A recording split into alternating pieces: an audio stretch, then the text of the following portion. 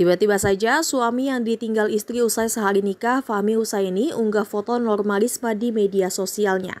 Fahmi menanggapi netizen yang menjodoh-jodohkannya dengan normalisme yang sama-sama mengalami nasib pahit dari pernikahan. Diketahui sosok normalisme juga sempat buat geger jagat media sosial lantaran kisah suaminya yang berselingkuh dengan ibu kandung Norma sendiri. Hampir senasib, Fahmi Husaini juga ditinggal istrinya hanya selang sehari menikah dengan Anggi Anggraini. Anggi diketahui ternyata kabur dengan mantan kekasihnya. Di akun TikTok pada Senin 17 Juli, Fahmi mengunggah berita soal ia yang dijodohkan dengan normalisme.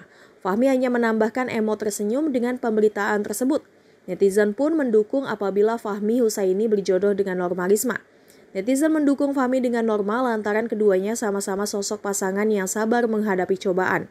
Diketahui nama Fahmi Husaini sempat mengundang simpati netizen lantaran ditinggal istri sahnya Anggi Anggraini usai sehari menikah. Lebih mirisnya, Anggi istri Fahmi ternyata kabur dengan mantan kekasihnya ke Medan.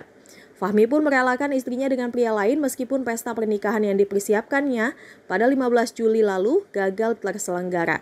Padahal uang pesta pernikahan tersebut ditabung sendiri oleh Fahmi selama dua tahun bekerja.